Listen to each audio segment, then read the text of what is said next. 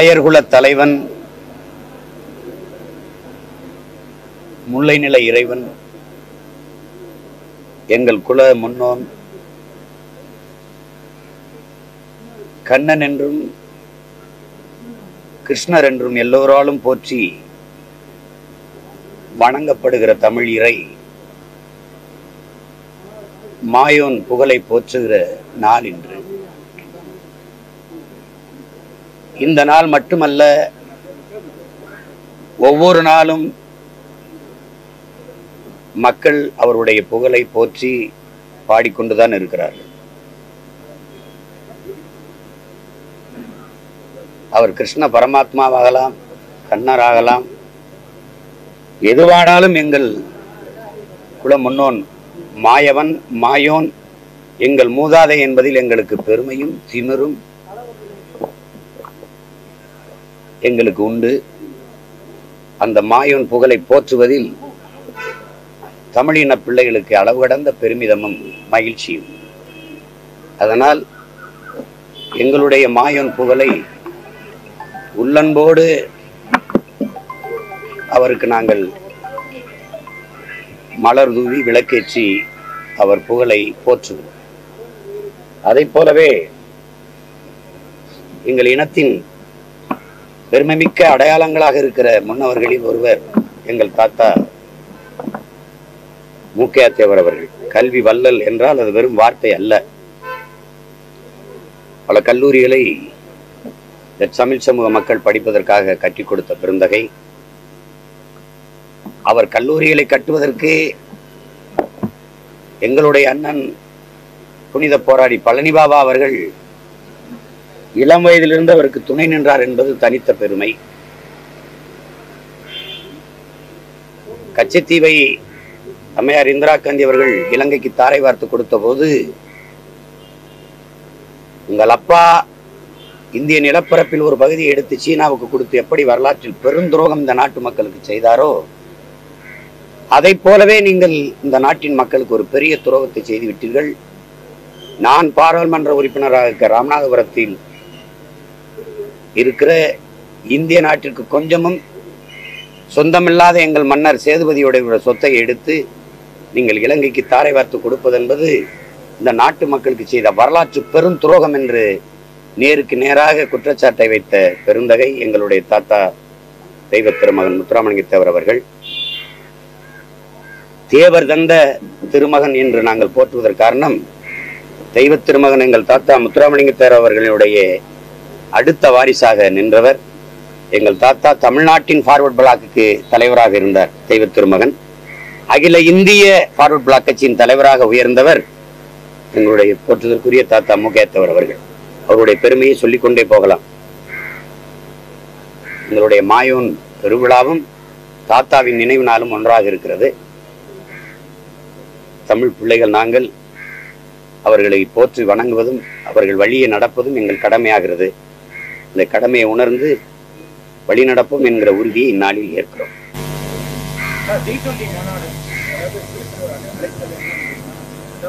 பாரத்தின் பற்று.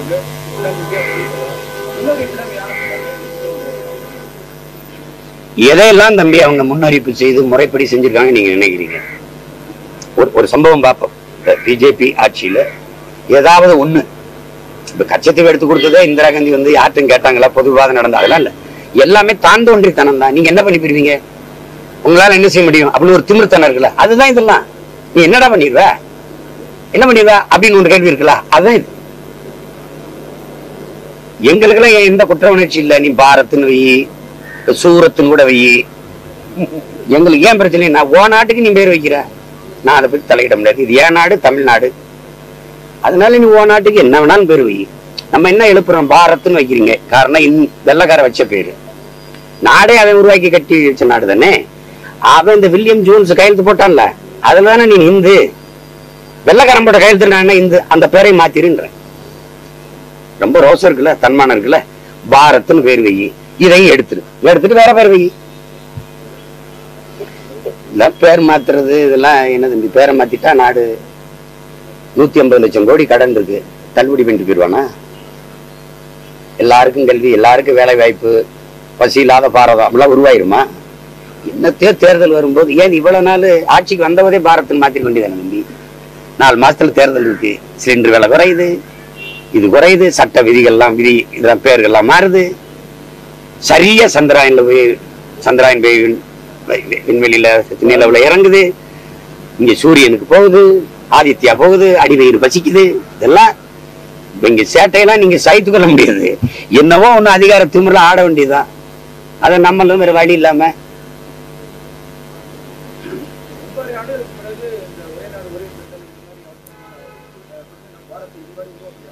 மாநில தன்னாட்சி பேசியவர்கள் என்னையும் போல வலிமையற்ற பிள்ளைகள் தான் கத்திரமே ஒழிய மாநில தன்னாட்சி பேசியவர்கள் இந்த இந்த திராவிட நாடு கோரிக்கை வைத்தவர்கள் அவர்கள் என்ன பேசுறாங்கன்னு தான் பிரச்சனை இது. இதுல என்ன ஆழ்ந்து பார்க்கணும்னா இந்தியா ஒரே நாடு அல்ல. அது தேர்தல் அரசியலமைப்பு சட்டமும் சொல்லலை. உங்க எல்லாருக்கும் தெரியும் ரேடியோவே ஆல் இந்திய ரேடியோ தான். இந்திய ரேடியோலாம் கிடையாது. India that is Bharat shall be union of states தான். திடீர்னு தேவைன்னா ஐக்கிய மாநிலங்கள் அவைதான் அது. உங்களுக்கு விளங்குதுன்னு நினைக்கிறேன். மாநிலங்கள் அவைதான். அப்ப மாநிலங்கள் அப்படின்னா பல நாடுகள் பல தேசங்களின் ஒன்றியம் தான் அது. அப்படிங்கும்போது ஒரே நாடுங்கிற வார்த்தை எப்படி? ஒரே நாடு ஒரே ரேஷன் கார்டு ஒரே தேர்தல் ஒரே வரி ஒரே தேர்வு. ஏற்கிறேன். ஒரே நீர் எங்க? நீ ஒரே நாடுன்னா காவிரியில் எனக்கு தண்ணி ஏன் பெற்று தர முடியல உன்னால? ஒரே நாட பேசுற நீ அங்கே வாய் முடிக்கிட்டு மௌனமா இருக்க? ஒரே ரேஷன் கார்டு இருக்கு. டெல்லியில இருந்து காஷ்மீர் வரைக்கும் காஷ்மீர்ல இருந்து கன்னியாகுமரி ஒரே ரோடு இருக்கு. நீர் எங்க?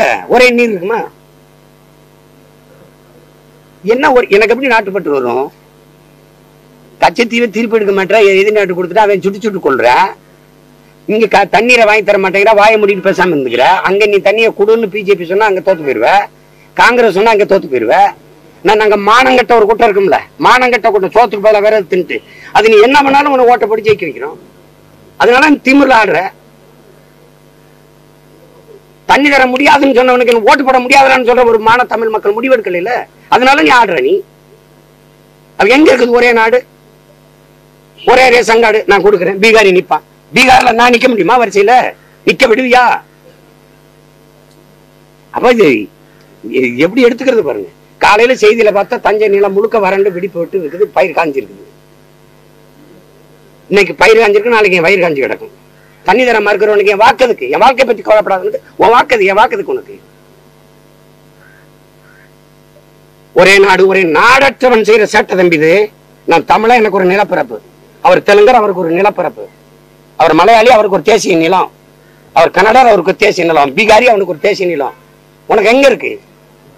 அதனால இந்த ஒட்டுமொத்த நாடை எனதாக்கி கொள்றதுக்கு தனதாக்கி கொள்றதுக்கு துடிக்கிற. பாரத நாடு. ஒரே நாடு ஒரே ரேஷன் கார்டு. கொஞ்ச நாள் எங்கேயாவது ஓடுன்னு அடிச்சு விரட்டுற காலம் வரலன்னா நீ பாச்சேரு நீ சேட்டை. இந்தியாங்கிற பேரை மாத்துறாங்க. இது வந்து இந்தியா வந்து இந்துக்களின் நாடுங்கிற ஒரு அதை நோக்கித்தான் ஒரு நகவம் அவங்களுடைய கோட்பாடு இந்து இந்தியா இந்தி. இப்ப இந்துன்னு இல்ல அவங்க பாரத் மகாபாரத்ல இருந்து அந்த மகாபாரதம். பாரத மாதாக்கு ஜெயின் போடுறதுக்கு வசதியா இருக்கும். அதுக்காக பாரத்னு மாத்துறாங்க. அது அவங்க வசதி. ஏன்னா அது அவங்களுடைய கோட்பாட்டை கடைபிடிக்க நினைக்கிறாங்க. எனக்கு ஒரு கோட்பாடு இருக்கு நான் அதை கடைபிடிக்க நினைக்கிறேன். இது என் நாடு. வடவேங்கடம் தென்குமரி ஆயிடே தமிழ் ஊரும் நல்ல உலகம்னா நீங்க வடவேங்கடம்னு திருப்பதியே நினைச்சிட்டு இருக்க. வேங்கன்னா வெப்பம் கடம்னா இடம். அப்ப தக்கான பீடபூமி வரை நான் பரவி இருந்தேன்னு தொல்காப்பியம் பாடுது. பகுருளி ஆற்றன்னு பன்மொழி அடுக்கத்து குமரி கொடும் கொடுங்கடல் கொள்ள வடதிசை கங்கையும் இமயம் கொண்டு தென் திசை ஆண்ட தென்னவன் வாடின்னு என் சிலப்பதிகாரம் படுது. வடதிசை கங்கையும் இமயமும் கொண்டு தென் திசை ஆண்ட தென்னவன் வாடின்னு. அப்ப நான் என்ன பேசுறது? பாரத நாடே பைந்தமிழர் நாடுன்னு உலகத்தை நான் வைக்கிறேன். உனக்கு என்ன நாடு இது? அப்ப அண்ணல் அம்பேத்கரின் அரசியல் சாசனத்தை ஏற்கிறீங்களா அவரே சொல்றாருல்ல இந்த நிலப்பரப்பு முழுதும் தமிழை தாய்மொழியாக கொண்டவர்கள் தான் பரவி வாழ்ந்தார்கள்னு. அப்ப ஏற்கிறியா எதிர்க்கிறியா? இந்த நாட்டை என்னாடு என்று சொந்தம் முன்னாடி கொள்ள இந்த நிலப்பரில் ஒரே ஒரு இனத்துக்கு தான் உரிமை உண்டு தமிழ் இனத்துக்கு சொல்லியிருக்காரு இல்லையா? நீ இந்துவாயிரு இஸ்லாமியரா இருக்கு? நாங்கள் தமிழர்கள் இது என் நாடு தமிழ்நாடு. அதனாலதான் இங்க உனக்கு வேலை இல்லைன்னு நம்ம தடுக்கிறதுக்கு காரணம். அவர்கள் அதிகாரம் இருக்கு. மாநில உரிமை பேசினவர்கள் சரணடைந்து விட்டார்கள். இவர்களே ஒரு நாடு ஒரு ரேஷன் கார்டை ஆதரிக்கிறாங்க இன்னைக்கு ஒரே தேர்தலை வந்து ஐயா கருணாநிதி அவர்கள் ஆயிரத்தி தொள்ளாயிரத்தி எழுபத்தி ஆதரிச்சு பேசினது இருக்கு. தீர்மானம் நிறைவேற்றி நாங்கள் இதை முன்மொழிந்தோம்னு இருக்குது. இன்னைக்கு எதிர்க்கிறீங்க? அது அன்னைக்கு தேவை இன்னைக்கு தேவைங்கிறது நீங்க பேசுறீங்க. அதை நம்ம விட்டுருவோம். இந்தியா ஒரே நாடா. முதல்ல அதை பேசி முடிவு பண்ணிட்டு அப்புறம் அடுத்த கட்டத்துக்கு நகருவோம். நீ எது வரைக்கும் பாராளுமன்ற தேர்தல் எத்தனை கட்டமா நடத்திருக்கிய? குறைஞ்சது நாலு. மேற்கு வங்கத்துல மட்டும் எட்டு கட்டமா தேர்தல் நடத்துனீங்களா இல்லையா? அமையா மம்தாவை தோக்கடிக்கணுங்கிறதுக்காக நடத்துனீங்க இப்ப ஒரே நாடு ஒரே தேர்தலா எப்படி கொண்டு வருவீங்க? தேர்தல் ஆணையமே சொல்லுது ஒன்பதனாயிரம் கோடி வேணும் வாக்கேந்திரம் மட்டுமே நம்ம தயார் பண்ண. அதுக்கப்புறம் இந்த இருக்கிற அதிகாரிகளை வச்சு நடத்துறது ரொம்ப கடினம் அப்ப எப்படி நடத்துவீங்க? நான் ராமநாதபுரத்துல வந்து பிரதமர் மோடி போட்டியிட்டா நாம் தமிழர் போட்டியிடாதுன்னு நீங்க சொல்லிருக்கீங்க போட்டியிடாதுன்னு ஏ- ஏ- தப்பு தப்பா கேள்வி. போட்டியிடும். நான் போட்டியிடுவேன். அப்படிதான் சொல்லியிருக்கேன் வெளியே போட்டியிடாது நான். ஒருவேளை ஒருவேளை திமுக வந்து இதுவரை நேரடியாக மோதாது. தெரியாம மோதினது அம்மா தமிழிசையோட க- அம் கனிமொழி அவர்கள் வந்து தூத்துக்குடியில மோதிட்டாங்க. மீதி எல்லாம் கூட்டணி விட்டு தப்பிச்சிரும். ஆனால் இந்த வாட்டி அவர் நிற்க மாட்டாரு. ஒருவேளை நின்னாருன்னா நீங்க வலுவான ஒரு வேட்பாளர் போட்டு தாமரை உதயசூரியன் அப்படின்னு போட்டியை உருவாக்குனீங்கன்னா அந்த இடத்துல நான் ஒரு- ஒரு இஸ்லாமிய தங்கச்சி தான் வேட்பாளர் நிறுத்த போறேன். நான் திரும்ப பெற்றுக்கிறேன். பெற்றுக்கிட்டு உங்களுக்கு அது ஒ- ஒரு நோக்கம். அவரை தோக்கடிக்கணும். அவ்வளவுதானே நான் சேர்ந்து நான் உனக்கு ஆதரித்து வேலை செய்கிறேன்றேன் அதுதான் எங்க கோட்பாடு. குழப்பிக்காதீங்க. கட்டாயம் நான் போட்டி விடுவேன் நாற்பது தொகுதியில். இந்த ஒரு காரணத்திற்காக நான் திரும்ப பெறுவேன். ஒருவேளை இஸ்லாமிக் சிறைக்கைதியில் எனக்கு விடுதலை செய்ய பதினஞ்சாம் தேதி. என் மக்கள் பெரிய எதிர்பார்ப்பவர்கள் இருக்காங்க. அண்ணா பிறந்த நாளைக்கு. நீங்க விடுதலை செஞ்சீங்க அதனால உங்களுக்கு நெருக்கடி வருது அப்படின்னா அப்ப நான் வந்து நீங்க போட்டியிடல இருபது தொகுதியா பதினஞ்சு தொகுதியா அதுல நான் என் வேட்பாளர் திரும்ப பெற்று உங்களுக்கு ஆதரிக்கிறேன். ஒரு இஷ்யூ பேஸில் சப்போ சப்போர்ட்டுங்கிறேன் அதை விளங்கணும். சும்மா அதை கூட்டணிக்கு போயிட்டு இருந்தாரு திமுக நான் எது ஏன்னா எனக்கு வந்து தேர்தல் அரசியல் கட்சி அரசியலை விட மக்கள் அரசியல் தான் எனக்கு முதன்மையானது. அதனால தான் திரும்ப சொல்றேன். உரிய காவிரி நதிநீர் பங்கீட்டு தரலைன்னா தேர்தலில் பாராளுமன்ற தேர்தலில் உரிய தொகுதி பங்கீடு காங்கிரஸுக்கு இல்லை அப்படிங்கிற முடிவை எடுங்க அப்படி எடுத்து காங்கிரஸை வெளியேற்றிட்டீங்க நான் மொத்தமாகவே வித்ரா பண்ணிட்டு உங்களை ஆதரிக்கிறேங்க. ரெண்டாயிரத்தி பதினொன்னுல ஜெயலலிதாமையர் ஆதரிச்சேன். பதினாலு ஆதரிச்சேன். அந்த மாதிரி ஆதரிக்கிறேன். எனக்கு பாராளுமன்ற ஒரு பெரிய கனவு இல்லை. எனக்கு இது என் தேசம்? இந்த தேசத்துல நான் அதிகாரத்துக்கு வரணுங்கிறதா எனக்கு விருப்பமே வழியே அது ஒண்ணும் இல்லை. அது அவர் செய்வாரான்னு கேளுங்க தம்பி அவர் சொல்லிட்டாரு அதுக்கு பதில் சொல்லிட்டாரு. இதெல்லாம் சும்மா.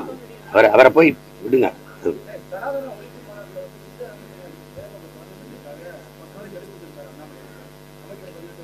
அவர் நான் வந்து பத்து வருஷமா கெடு கொடுக்குறேன் மோடி பதவி விலகணும்னு. யாரை கேட்டு பணம் செல்லாதுன்னு சொன்னீங்க? பணம் செல்லாதுன்னு சொன்னதுனால நீங்க நீங்க கொடுத்த வாக்குறுதியை பாருங்க. தீவிரவாதம் ஒளிஞ்சிடும் ஊழல் லஞ்சம் ஒளிஞ்சிடும் ஒளிச்சிட்டீல. தீவிரவாதிகளால் என் உயிருக்கு ஆபத்துன்னு நீங்க கத்துறீங்க. அப்புறம் நீங்க சொன்னதுக்கு பிறகுதான் புல்மாவா மாவட்டத்துல தாக்குதல் நடந்தது. நீங்க சொன்னதுக்கு அப்புறம் தான் ஊழல் லஞ்ச வழக்கில் நிறைய அமலாக்கத்துறை போய் நோன்றீங்க அப்ப ஒளியில. அப்ப ஃப்ராடு தானே தானே? பொய் தானே அது? ஃபால்ஸ் கோப்பு தானே? அதுக்கு ஒரு வருத்தம். சாரி தப்பு நடந்துருச்சு. சொர்க்கத்துல வண்டி வைப்பேன் ஐம்பது நாள்னா எவன் போனான் சொர்க்கத்துக்கு? செத்து பல பேர் போனான். நீங்க எங்க வண்டி வச்சீங்க? எங்களை சோத்துக்கலாம தெருவில் நிக்க வச்சீங்க. சொர்க்கத்தில் எங்க வண்டி வச்சீங்க? அதுக்கு நீங்க விளங்குங்க பதவி விளங்க விளங்குங்க திட்டமிட்டு நடத்துனீங்க மணிப்பூர்ல கலவரத்தை. உங்களுக்கு தெரியாம நடக்குதா? ஒரு நாட்டை ஆளுகிற குடி குடி இந்த பிரதமர் குடியரசுத் தலைவர் ராணுவ அமைச்சர் பாதுகாப்புத்துறை அமைச்சர் இந்த உளவுத்துறை பிரிவு இதெல்லாம் தெரியாம நடந்துருதா தம்பி கலவரம்? அதுக்கெல்லாம் தார்மீக பொறுப்பேற்று ஒரு தொடர் வண்டி விபத்துக்கு பதவி பொறுப்பேற்று விலகினார் லால்பூர் சாஸ்திரி. எத்தனையோ தலைவர்கள் இந்த மண்ணில் தொடர் வண்டி விபத்துக்கு ஆக்சிடென்ட்டுக்கு சாரி நான் விளைக்கிறேன் இதுக்கு தகுதியற்றவன் ஆகிட்டேன் நீங்க ஏன் அதை செய்யல? சேகர் பாபு விலகிறதா இல்லையான்னு மக்கள் முடிவு பண்ணோம் அவர் தப்புன்னா அடுத்த தேர்தலில் அவர் தோக்கடிப்பாங்க நீ விளையாட சொன்னா இப்ப நான் முதலமைச்சர்னா இந்த அறநிலைத்துறைன்னு பேர் இருக்கு அதை எடுத்துருவேன். தமிழர் சமய அறநிலைத்துறைன்னு போட்டுருவேன். என்ன பண்ணுவேன் நீங்க வந்து? இல்ல என்ன பண்ணுவ? இதெல்லாம் கொடுமை இல்லையா? என்னத்தையாவது பேசிட்டு இருக்குது. பதவி விலை இவர் சொன்ன விளையிடணும் சுப்பிரமணியம் சொன்னா ஆட்சியை கலத்திடணும் டேய் என்னங்கடா உங்கள்ட்ட? என்ன நீங்க தான் என்ன?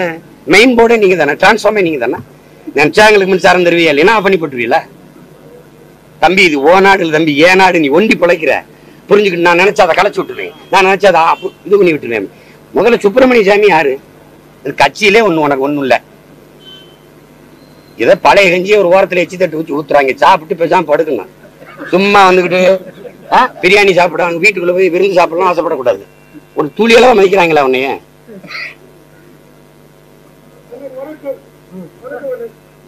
அமைதியார். தம்பி சாமி. திமுக வந்து எதிர்க்குது நீங்க பாஜக பேசுறீங்கிறாங்க நீங்க எல்லாம் ஒரு பட்டிமன்ற நடத்தி ஒரு முடிவுக்கு வாங்க. சீமான் யாரு? சீமான் திமுகவின் பி இவங்க பாரதிய ஜனதாவின் பி நான் தான் திரும்ப திரும்ப சொல்லிட்டேன் நீங்க தாண்டா மாறி மாறி என்னைய தமிழ்நாட்டின் பி திமுக அகில இந்திய பிஜேபியின் பி நீ இப்ப சனாதனம்னு உன்னை பேச போய் அவன் அதை நல்லா பிடிச்சுக்கிட்டு சங்கி தொங்குறான் பாருங்க. தங்- சங்கி தொங்கி பிடிக்கிறான். பூரா. நீ பானர்ஜி எதிர்ப்பா? ஏன்னா உயர் சாதி பிராமணன். அகர்வால் எதிர்ப்பான் கெஜ்ரிவால் எதிர்ப்பான் சர்மா எதிர்ப்பான். நீ கொளுத்தி போட்ட. உத்தவ் தாக்கரே எல்லாம் எதுக்குறான் போன தடவை கூட்டணி அமைஞ்சிச்சு. ஐயா கருணாநிதி அவர்கள் சிலையை திறக்கும் போது ஐயா ஸ்டாலின் ராகுல் காந்தி வருக நல்லாட்சி தருகணும்னு ஓடிட்டான் இந்த வாட்டி தம்பி அம்பாடு உதவி உனக்கு சனாதனம்னா என்னன்னு தெரியுமா? தெரியாதுல உனக்கு உன் நண்பன் சந்தானந்தன் தெரியும். அதே எனக்கு என் சந்தானந்தம் தெரியும்னு சொல்லிட்டு போண்டி தானே. சனாதனம்னா என்ன? சனாதன ஒழிப்பு. பேசுவோம். சனாதன ஒழிப்பு. அஞ்சு வயசுல எங்க தாத்தா ஆரம்பிச்சு தொண்ணூறு வயசுல போராடினாருன்ற நான் ஒத்துக்கிறேன் மதிக்கிறேன். ஒழிச்சதுக்கு செஞ்ச முயற்சி சொல்லு.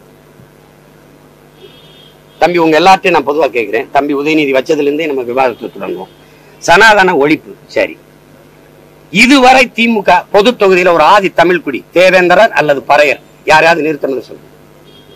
கேட்டா இங்க இங்க தமிழ்நாட்டு அமைச்சரவையில ஆதி திராவிட நலத்துறை தவிர ஒரு தொகுதி கொடுத்ததா சொல்லு. ஒரு அமைச்சரவை கொடுத்ததா சொல்லு.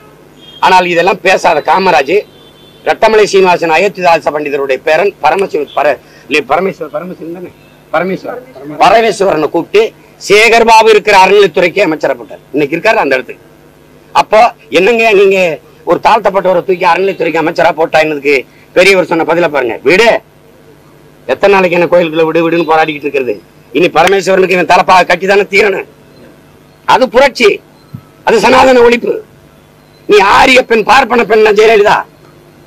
தலித் கூட்டி பொறுத்து திருச்சியில நிறுத்தி வெள்ள வச்சாங்க. அது சனாதன ஒழிப்பு.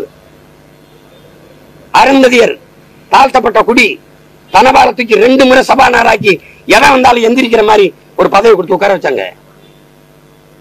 தனபால் வரும்போது முதலமைச்சரே எந்திரிக்கணும். அப்படி ஏதாவது செஞ்சிருக்கா? பெரம்பலூர் பொதுத்தொகுதி தொகுதி இருந்து பொது ஆயிருச்சு. நல்லா கேட்டுக்கணும். பொதுத்தொகுதி ஆயிருச்சு. ஆயிருச்சுல? ஐயா கண்ணா என்ன பண்ணிருக்கணும்?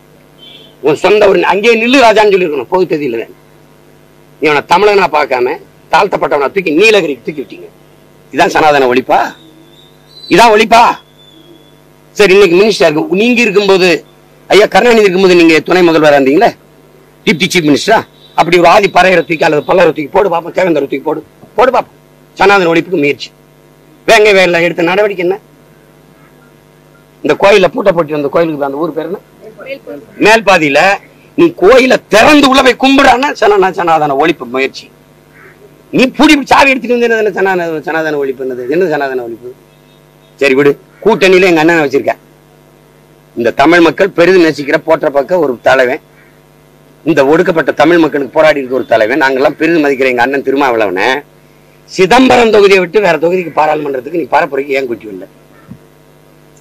அதே கட்சியை சார்ந்த ஐயா ரவிக்குமார் நிக்கிற விழுப்புரத்தை கூட நீங்க குட்டி வரல ஏன்? இன்னைக்கு நாளைக்கு நடக்க போற பாராளுமன்ற தேர்தலில் எங்க அண்ணன் திருமாவளவன் நாற்பது உதிக்கும் பிரச்சாரத்துக்கு நீங்க கூட்டிட்டு போவீங்களா? கூட்டணி கட்சியின் கொடியில விடுதலை சிறுத்தைகள் கொடியை மட்டும் ஏறி அழுத்தம் வேண்டா காட்சி வேணுமா உங்களுக்கு? இதான் சனாதன ஒழிப்பா? கூட்டணி கட்சி தலைவர்களின் படத்துல அந்த அவர் படத்துல மட்டும் வெள்ளத்தால ஒட்டி மறைச்ச வேதை இதான் சனாதன ஒழிப்பா? நீங்க எல்லாம் உட்காரும் போது அவரை எங்க உட்கார வைக்கிறீங்க? உங்களுக்குள்ள இருக்கிற அடுக்க கொடுமையான சனாதன சனாதனம். வீட்டுக்குள்ள ஐயரெல்லாம் கூட்டி வந்து பூஜை பண்றது. அது ஒழிப்பா போ. ஒழிப்பா சொல்லுங்க. கொடுமை. சனாதன ஒழிப்பு நாங்கள் சனாதன ஒழிப்பு ஒரு முயற்சி கூட எடுக்கல. ஒரு சின்ன காலடி கூட வைக்கல இன்னும் ரெட்ட கோலம் முறை இருக்குன்னு. இன்னும் ரெட்ட கோலம் நீ வெக்கப்படு. வச்சு கூட செத்துப்போ நீ தானே தலாலான் இருக்க? அதை ஒழிக்க முடியல. அப்புறம் சனாதனத்தை ஒழிக்கிற நீ? நீங்க எல்லாம் நல்லா கவனிச்சுக்கீங்க. நீ உங்களுக்கு காட்சி இருக்கு அவனருக்கு நான் எடுத்தாரேன் தம்பி வன்னியரசு கூட இருக்கிறாரு அவர் பதிவு பண்ணதான் நீ ஒன் தொலைக்காட்சியில. பொது குளத்துல எப்படி நீங்க குளிக்கூடாது பொது பாதையில் எப்படி நடக்கூடாது அப்படி பொது தொகுதிக்கு நீங்க எல்லாம் ஆசைப்படலாமா? அப்படின்னு கருணாநிதி அவர்கள் கேட்டாரு எங்களை பார்த்துன்னு. தம்பி வன்னியரசு நியூஸ் செவன் நேர்காணல பேசுனது இருக்கு. ஆதி தமிழ் குடிய பழங்குடி பறையனை நீ பொது தொகுதிக்கு ஆசைப்படலாம்னு கேட்ட நீங்க சனாதனத்தை ஒழிக்கிறீங்களா ஒழிக்கிறீங்களா சனாதனத்தை க- வேண்டும்னு தொங்கு அவனுக்கும் உனக்கு என்ன வித்தியாசம் இருக்கு? இப்ப நீங்க தான் சனாதன ஒழிப்பு பேசுறீங்களா? பிறப்பு ஒக்கும் எல்லா உயிருக்கும் என்று மறைபாடிய வள்ளுவ பெருந்தகையிலிருந்து தொடங்கி இருக்குது சனாதன ஒழிப்பு சனாதன எதிர்ப்பு. அதுக்கு பிறகு வள்ளலார் எங்க தாத்தா வைகுந்தர் எங்க தாத்தா வள்ளலார் வந்து தொடர்ந்து வருது. இந்த சனாதன கொடுமைக்கு எதிராக தான் அவன் சுத்த சன்மார்க்கம்னு ஒரு சமயம் அன்பு வழின்னு ஒரு சமயத்தை தொடங்குனது எங்க தாத்தா வைகுந்தர். அதனாலதான். அது இன்னைக்கு வரைக்கும் தொடருது. தொடர்னா இத்தனை ஆண்டுகள் ஆட்சியில நேத்தான் கட்சி ஆரம்பிச்சு ஆட்சியை பிடித்த மாதிரி நீங்க பேசிட்டு இருந்தீங்கன்னா சனாதன ஒழிப்புன்னு வேடிக்கை இல்லை. எழுபத்தஞ்சு ஆண்டு ஆட்சி கட்சி தொடங்கி அறுபது ஐம்பது ஆண்டுகளுக்கு மேல நீங்க தான் ஆண்டிருக்கீங்க. திடீர்னு சனாதன ஒழிப்பு சனாதன ஒழிப்புன்னா என்ன என்ன பேச்சுது? சரி இந்த தேர்தல பாராளுமன்றத்துல ஒரு ஒரு தொகுதி கொடு. சின்ன பசங்க நாங்க வந்து பதினாறு தேர்தல இருபத்தி ரெண்டு தொகுதி பொது தொகுதி கொடுத்தேன். நாற்பத்தி ரெண்டு தொகுதி ஆதி தமிழ் குடிகளுக்கு மீதி ரெண்டு தொகுதி பழங்குடி மக்களுக்கு. நாற்பத்தி நாலு தொகுதி அரசியலமைப்பு கொடுத்தது. நீங்க என்ன கொடுத்தீங்க? கம்யூனிஸ்ட் கட்சியாவது மார்க்சிஸ்ட் பார்ட்டி இங்கே நிறுத்தி ஒருத்தரை ஜெயிக்க வச்சிச்சு பொது தொகுதியில. அப்படியேதான் முயற்சி எடுத்தீங்க. நான் இருபத்தி ரெண்டு தொகுதி கொடுத்தேன். இருபத்தி ஒண்ணுல பதினாறு தொகுதி கொடுத்தேன். பொது தொகுதி. நீங்க என்ன பாராட்டணும் இல்ல. பெருமைக்கு செய்யலை. என் கடமையா செஞ்சேன். அப்படியேதான் செஞ்சீங்களா செய்வீங்களா சும்மா சனாதன ஒழிப்புன்னு வாக்கிட்ட பேசினா ஒளிஞ்சிருமா? சாதி ஒழிப்புன்னு ஒளிஞ்சிருமா? அதுக்கு முயற்சின்னு இருக்கு? அவன் விரும்புவான். அவன் ஏற்றதால் விரும்புவான். பிறப்பின் அடிப்படையில் பேதம் இருக்குன்னு சொல்லுவான். அது அவனுடைய அவன் வேதம் சொன்னது. ஏன் சொன்னது? பிறப்பு ஒக்கும் எல்லா உயிருக்கும். ஏன் வேதம் சொன்னது? அது நான் என் விதத்தை தான் கடைபிடிக்க முடியும். தம்பியின் கருத்துல உடன்படுறேன். ஆனா அந்த கருத்தை நீங்க வந்து நம்ம புதுசா சொன்னது மாதிரி நினைச்சுக்கிட்டு நாங்க தான் சனாதனத்துக்கு எதிராக அதை பேசுறதுக்கு உங்களுக்கு கருத்து சரி. பேசுறதுக்கு உங்களுக்கு உரிமை தகுதியே இல்லை. ஏன்னா அதுக்கான எந்த முயற்சியும் நீங்க இந்த இல்லத்துல எடுக்கல. எங்க ஐயா ராமதாஸ் கட்சினா பொதுச் செயலாளரா ஒரு தேவேந்தரர். ஒரு ஆதி தமிழ் குடி ஒடுக்கப்பட்ட தமிழ் குடி தான் இருக்க முடியும்னு சட்ட விதி இருக்கு கட்சியில. இன்னைக்கு வரைக்கும் எங்க அண்ணன் வடிவேல் ராவன் தான் பொதுச் செயலாளர். அப்படி ஏதாவது உங்க கட்சியில் இருக்காங்க. சொல்லுங்க இருக்க? எதை எதையே மாத்துறாங்க. அரசியல் சாசனத்தையே மாத்துறான் பேரையும் மாத்துறான். அப்படி ஒரு இருந்தா மாத்துங்களேன். சும்மா அதை சனா சனாதனத்தை ஒதுக்க ஒழிக்க போறேன் அதை ஒழிக்க போறேன் இது ஒழிக்க போறேன். அந்த தேர்தல் வரும்போது மாணவர் மேல மீனவர் மேல விவசாயி மேல தேர்தல் வந்தா சிலிண்டர் விலை குறையுது. அப்படியே தினம் அடிக்கடி இந்த தேர்தலை ஒரே கட்டமா நடத்தாம இருக்கிறது நமக்கு எவ்வளவு நல்லதா இருக்கு பாருங்க. அப்ப ஒரு நாள் ஒரு இருநூறு ரூபா குறைப்பான் அடுத்த தேர்தல் கொஞ்சம் இருநூறு ரூபா குறை அடுத்த அப்படிதான் நடக்குது.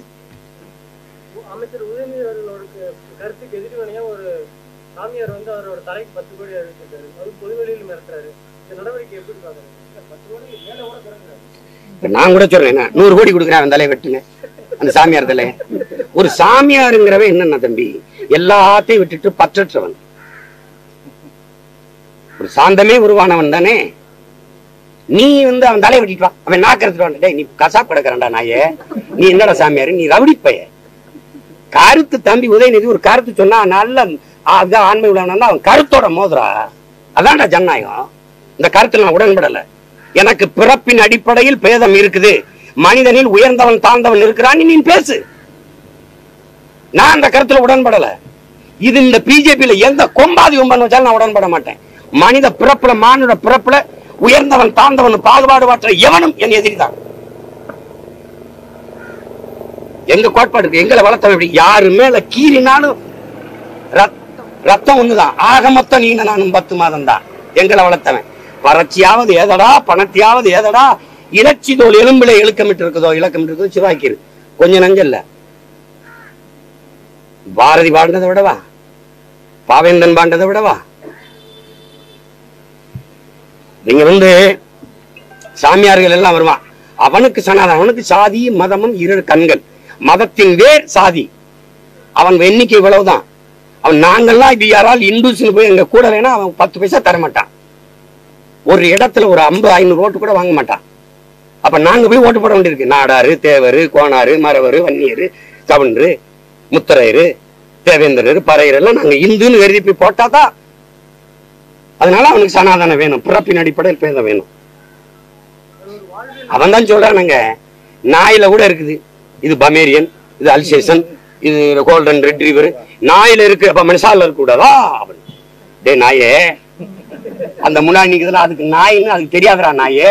அதுக்கு நாயின்னு பேர் வச்சது நான் தான் பண்ணிக்கு தெரியாத பண்ணியே அது பண்ணின்னு நான் தான் பண்ணின்னு பேர் வச்சிருக்கேன் மனுஷன். இதுக்கு தென்னை மரம் தென்னை மரத்துக்கு தெரியுமா? சொல்லுங்க இது பாம்புக்கு தெரியுமா? நான் பாம்பு. அதுல என் பேர் நல்ல பாம்பு. அப்படின்னு சொல்லுவா. அது சொல்லி சொல்லி தெரியுமா இவங்கள மாதிரி ஒரு ப மனித பிறப்பில் உயர்வு தாழ்வு பாராட்டி தாழ்த்தி சக மனிதனை தன்னை போல எலும்பு நரம்பு சதை ரத்தம் பசி உறக்கம் கனவு கண்ணீர் கொண்ட சக மனிதனை தாழ்த்தி வீழ்த்தி சுகம் காணுகிறதுக்கு பேரு நோய் மன நோய் அததான் அவர் சொல்றாரு கொடிய வைரஸ்ன்னு. தம்பி சொல்றாருல்ல? இந்த டெங்கு மாதிரி இந்த கொரோனா மாதிரி இது கொடிய வைரஸ்னு அதை ஏத்துக்கிறேன் ஐ அக்ரிட் ஆனா ஒழிக்க தம்பியினுடைய அந்த கட்சி இருக்குல்ல அது செஞ்ச முயற்சியை தான் கேட்கிறேன். அதை செய்யணும். அத தம்பி அது என்ன படம் வந்துச்சு இப்போ? மாமன்னன் படம் எடுத்தது பயன் அதுல நீ நடிச்சு பயன் இல்லடா தம்பி நீ செயல்படுத்தணும். போடு இருபது தொகுதியில ரெண்டு தொகுதி தென் மாவட்டத்துல ஒரு தேவேந்திர போடு இந்த மாவட்ட வட மாவட்டத்துல ஒரு ஆதி தமிழ் குடிய போடு பொது தொகுதியில. அப்ப நீ பேசு. ஆமா முயற்சி எடுக்கிறாங்க. அப்படின்னு நம்ம பாரு. அதை செய்யாம பேசிட்டு இருக்கிறது என்ன என்ன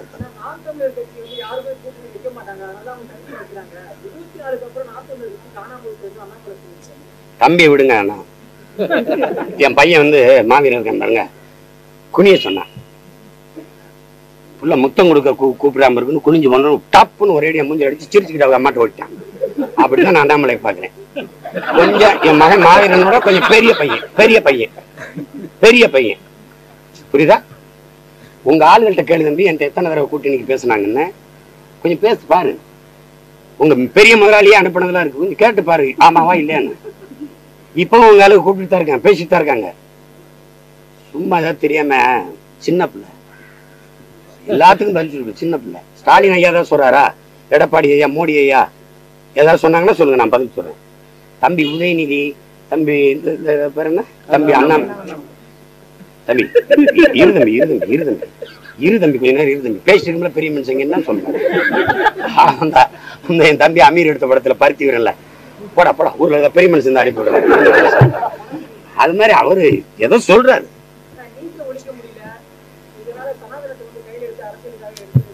தம்பி சனனா சனாதனத்தை கையில் எடுத்ததுல நீட்டு நீட்டு ஒழிதல் இல்ல. அதை யார் பிடிச்சுக்கிட்டு அரசியல் செய்யறான்னு பாருங்க. திமுக இல்ல பிஜேபி. அவன் சும்மா என்ன செய்யணும் தெரியாம திக்கும் காட்டிட்டு இருந்த போனப்போ தம்பி ஒரு பந்தை போட்டு விட்டான் அவன் ஆள் ஆளுக்கு அடிச்சு விளையாடிட்டு இருக்கான். அவனுக்கு அதான உயிர் கொள்கை. அவன் மதத்தின் வேறே சாதியில இருக்குன்னு நம்புறான். சாதியின் தலை மதம் அந்த மதத்தின் தலைவன் கடவுள். நீங்க அண்ணல் அம்பேத்கர் வந்து தெளிவா எழுதிருக்காங்க நீங்க படிங்க. என்ன சொல்றாருன்னா பிறப்பின் அடிப்படையில் பேதம் கற்பிக்கிற இந்த வர்ணாசிரம கோட்பாடு சனாதன கோட்பாடுங்கிறது மூவாயிரம் ஆண்டுகளை தாண்ட இந்த நிலத்துல இருக்கு. ஆரியர்கள் வருகைக்கு பிறகு முதல்ல மனிதரை நம்ம வந்து பிரிச்சு போட்டா அதை நம்ம நம்பல எதிர் கிளர்ச்சி பண்ணோம். அப்ப அதை நம்ப வைக்க மதத்தை உருவாக்குனாங்க. மதத்தை நம்ப வைக்க கடவுளை கொண்டு வந்தான். கடவுளை நம்ம இல்லைன்னு இருக்கும்போது கடவுளை நம்ப வைக்க வேத இதிகாச புராணங்களை உருவாக்கினார்கள். நாம் நம்பினோம் அடிமையானோம். எழுதிக்காரு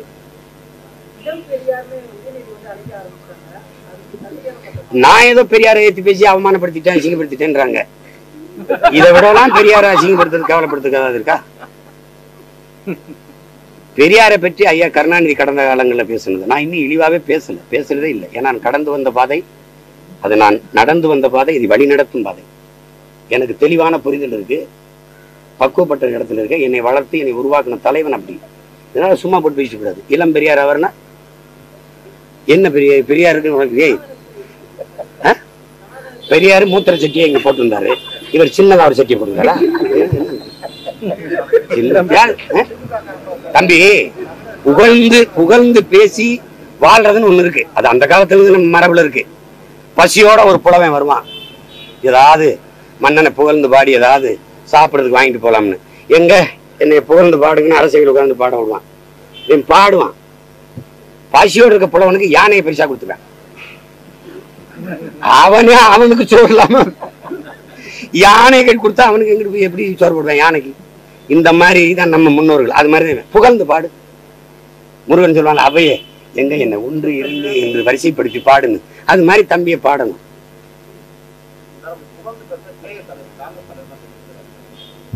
அது திமுக பேசுறாங்க.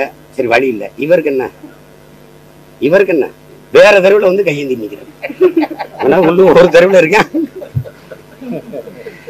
ஏதாவது பேசினதான் இப்ப சனாதனத்தை பத்தி தம்பி பேசிட்டாரு ஐயா அழகிரி பேசுறாரு. உங்க தலைவருடைய ஸ்டாண்ட் என்ன? உங்க தலைவர் இருக்காருல்ல ராகுல் காந்தி. அல்லது உங்க அம்மையார் சோனியா காந்தி. இல்ல மத்திய காங்கிரஸ் தலைவர் அங்க இருக்க தலைவர். அவருடைய நிலைப்பாடு என்ன? சரத்பவர் ஏத்துட்டாரு. உங்க கூட்டணி இருக்க எல்லாரும் ஏத்துட்டாங்க.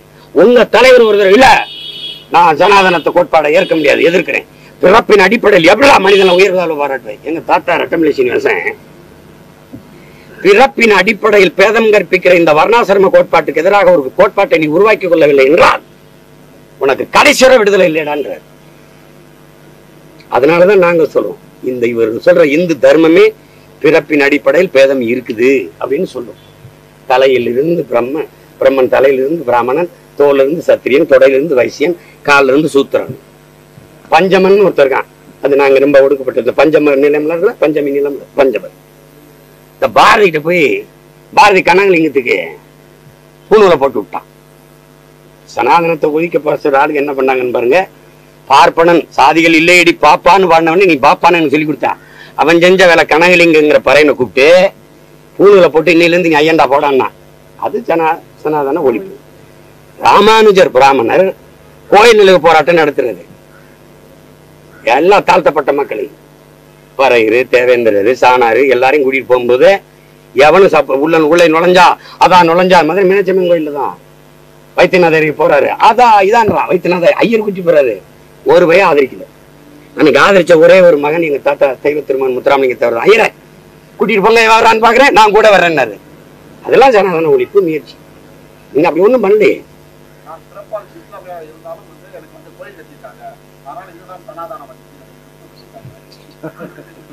அது சனாதனம் இல்ல மாட்டு சாணம். ஏங்க ஒரு பெண் வந்து தனக்கு கோயில் கட்டி வணங்குறாங்கிறத ரசிச்சா அது என்ன மனநிலை? இதான் சனாதனம்னா அந்த அதை ஏற்கிறீங்களா உங்கள் கோயில் கட்டி வழிபடுற துதிபாட்டு முறையை நீங்க வணக்க மதிக்கிறீங்களா ஏற்கிறீங்களா இதெல்லாம் என்ன பேசுறீங்களா தமிழ் மக்களின் அறியாமையை அறிவுகட்டத்தனத்தையும் காட்டுது முட்டாள் தனத்தை மூடத்தனத்தையும் காட்டுது கொடுமை இல்லை. இவங்க என்ன கோயில் கட்டினதா சனாதனம்னு. அப்ப அதை ஏற்கிறீ அப்போ ஒவ்வொருத்தரும் உங்க கால நாங்க குடிக்கணும். உங்க உங்க உங்க காலில் விழுந்து கும்பிடணும். உங்கள் கோயில் கட்டி வணங்கணும். இது எவ்வளவு கொடூரமான மனநிலைன்னு பாருங்க. அதை குஷ்பு அவர்கள் பேசுறது எவ்வளவு வழியா இருக்குன்னு பாருங்க. படிச்சவங்க இந்த தலைமுறையில நீங்க எல்லாம் வந்து அரசியல் செய்ய வரும்போது எப்படி நீங்க இப்படி பேசுறீங்க? ஏன்னா கோயில் கட்டி கும்பிட்டதான் சனாதனம்னா? அப்ப அந்த கோயில் இடிக்காம விட்டது எங்களுடைய பெருந்தன்மை தானே? எங்க இருக்குன்னு பாடுறா இதெல்லாம் கொடுமை இல்லையா? அப்படி பேசுறது நீங்க எப்படி ரசிக்கிறீங்க நீங்க?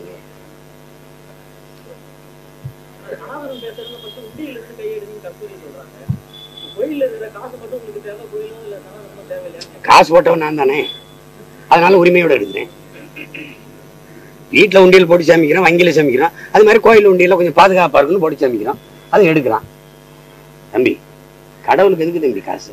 காந்தி படம் போட்ட காசு எடுத்து கடத்தருவில் கிளம்பிட்டாங்க டாங்கிட்டு அதை சேமிச்சு எடுத்து மக்கள் நலத்திட்டத்துக்கு பயன்படுத்தும் அதே சந்திரபாபு நாயுடு மாதிரி தலைவர்கள் மாவட்ட ஆட்சியர்கள் அந்த அமைச்சர்கள் கூட்டத்துல இந்த ஆண்டு திருப்பதியில வசூல் அதிகம்னா அவர் பேசவே இல்லை. மகிழ்ச்சி அடையவே இல்லை. பாருங்க அவரை பாருங்க. மகிழ்ச்சி அடையவே இல்லை. அப்படியே அமைதியா இருந்து பேசுறாரு. ரொம்ப வருத்தமா பேசுறாரு. மற்ற ஆண்டுகளையும் இந்த ஆண்டு அதிகமா கோயில்ல வசூல் வந்திருக்கு அப்படின்னா ரெண்டு தான் நடக்கணும். மக்களுக்கு கஷ்டம் அதிகரிச்சிருக்கணும். இல்லைன்னா ஊழல் லஞ்சம் பெறவன் எண்ணிக்கை அதிகரிச்சிருக்கணும். கஷ்டம் அதிகரிச்சா இந்த கஷ்டத்தை தீர்க்கணும்னு மக்கள் வேண்டி காசு போட்டிருப்பாங்க. இல்லைன்னா அதிகப்படியா ஊழல் லஞ்சம் பெற்று கொள்ளையடிச்சவன் அதுல கடவுளுக்கு பங்கு கொடுத்துருப்பான். இது ரெண்டுமே நம்ம தவிர்க்கப்பட வேண்டிய ஒண்ணுன்னு பேசுறாரு. அப்படிதானே சிந்திக்கணும் ஒரு தலைவனுங்கிறவன். அதனால கோயில் உண்டியல் உண்டியல் நான் தம்பிகிட்ட கேட்கிறேன் தம்பி நீங்க தானே கேள்வி கேட்டது. ஆயிரத்தி ஒண்ணு சிலைக்கு மேல நம்ம நாட்டுல இருந்து கிளம்பு ஆயிரம் கோடிக்கு மேல சொல்றாங்க. கோயிலை திறக்கிறது யாரும் பூட்டுறது யாரு நடை திறக்கிறது நடை சாத்துறது. அண்ணன் கேட்கறதுக்கு பதில் சொல்லு. யார் செய்யறா பிராமணன். பூட்டு அங்க இருக்கு சாவியாட்டு இருக்கு. உங்ககிட்ட இருக்கு. உங்களுக்கு தெரியாம கோயில்ல சில களவு இல்லை தம்பி. போயிருதா நேத்து இருந்த சிலை நான் உள்ள வர முடியாது. தொட்டு குழுவாட்டி தினம் கழுவி நெய் வைத்தியம் பால் வைத்து பால் பண்ணி பூவை தூவி பூஜை பண்றது நீங்க தானே நேத்து இருந்த சிலை இங்க இல்ல. ஏதோ நடந்துருச்சு. அப்படின்னு உடனே காவல் நிலையத்துல நீங்க பதிவு என்ன குற்ற வழக்கு ஏதாவது ஒன்று இருக்கா உங்களுக்கு தெரிஞ்சிருச்சுல இந்த இடத்துல சிலை இல்லைன்னு? ஏன் சொல்லல? அப்ப கோயிலை உடச்சு உள்ள வந்தானா? ஏறி குதிச்சு வந்தானா? சிலை எப்படி உங்களுக்கு தெரியாம வெளியில போகும்? ஒரு சிலை ரெண்டு சிலைன்னா பரவாயில்ல. எத்தனை ஆயிரக்கணக்கான சிலை? சிலையை கலடுல அந்த திரட்டு திரட்டி பொன் மாணிக்கிறது அவனை என்ன பாடுபடுத்தினீங்க நீங்க? இதெல்லாம் வந்து தம்பி அது மாதிரிதான். இப்ப இவங்க இருந்து எங்க ஐயா கவிப்பேரரசு வைரமுத்து பண்ணதான் ஊரையெல்லாம் காப்பாத்தும் தாண்டவன் கோனே முதல்ல உண்டியலை காப்பாத்து தாண்டவன் கோனே காடு மேட கடவுள் காக்கும் தாண்டவ கோனே முதல்ல கடவுள் சிலையை காப்பாத்து தாண்டவ கோனேன்னு பாடினாரு அதை தான் திருப்பி ஒரு தடவை பாட வேண்டியிருக்கு. அது சும்மா அவங்க சொல்றாங்க. அது என்னென்ன கோபத்துல சொல்றாங்க. நீங்க இப்ப இதெல்லாம் வேணாம்னா இப்ப எதுக்கு சாமிக்கு பேரால சாமியே வேணாங்கிறீங்க. சாமி பேரால வர்ற காசை மட்டும் நீங்க எடுத்து எதுக்கு எடுத்துக்கிறீங்கன்றாங்க. சாராய கடை நடத்தி ஒரு வசூல் ஃபேக்டர் ஒரு ஒரு பக்கம் வசூல் எடுக்கிற மாதிரி பக்தியை வச்சு ஒரு வசூல் எடுத்துக்கிறது தான் அது ஒரு போதை இது ஒரு போதை மதம் ஒரு போதை சாதி ஒரு போதை எல்லாத்தையும் தாண்டி ஒரு போதை இருக்கு புகழ் போதை. அதனாலதான் தம்பி உதயநிதி எல்லாம் பெரியாருக்கு இணையம் அப்படின்றதுக்கு காரணம் அதுதான். அப்படி பேசியாவது ஒரு சீட்டு வாங்கிட முடியாதா? அதான்